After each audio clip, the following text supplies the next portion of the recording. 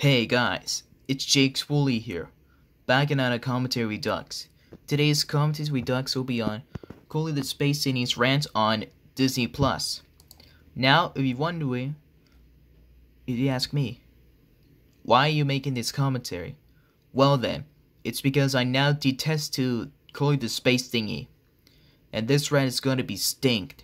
But anyways, let's begin the commentary, shall we? Disney Plus? What? More like Disney minus. Really? Was that really the best mock name I could come up with? And also, the Mullen term is getting old, getting old nowadays. OMG. This stupid ad really sucks so hard. Correction, this company rocks. When I was watching Hermitcraft or Minecraft, or in the world music, that stupid ad appeared about weddings, but he cannot. Disney Plus, stop with the love in the air. Stupid video ad stuff. You're such a hypocrite. I hope this ad will be terminated, and I hope Love in the Air ad will be terminated and deleted for good. Dude, it doesn't work. It will not get it. Get it terminated or deleted. Because it's still in business, mor you moron. Because do you know who loves that stupid ad? Plinko. But she, but she cannot because she got squashed.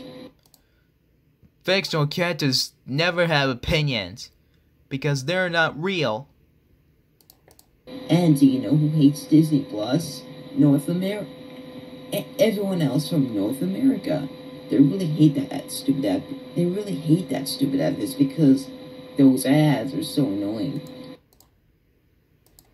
You're such a hypocrite. So screw Disney Plus and screw Plinko.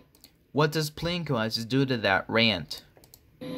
Walt Disney Pictures is 1, 2, 3, 4, 5, 6, 7, 8, 9 gazillion times better than that stupid ad.